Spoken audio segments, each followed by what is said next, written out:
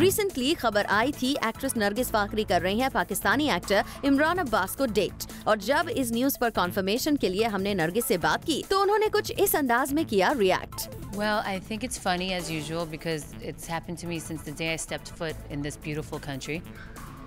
I have no idea why. I guess I'm like some targeted child. I don't know. Every, I think everybody wants me to be with somebody. And my life is actually so boring. I mean, for God's sake, I grow avocado trees.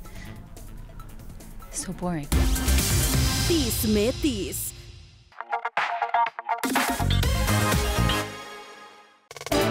Kangana Ranaut से recently उनके एक brand के event पर फिर से पूछा गया। Nepotism को लेकर सवाल। और यहाँ कंगना ने सबको बताया आखिर वो क्यों नेपोटिज्म को लेकर करती हैं बात। It's not to it's not an objection if you talking about nepotism it's an observation I as an individual my prerogative is to leave my foot behind for the ones who'll follow me and it's important that they know where I fell where I walk where I stayed and where I ran For all the Garma Garam Bollywood gossip news and more, download Zoom app.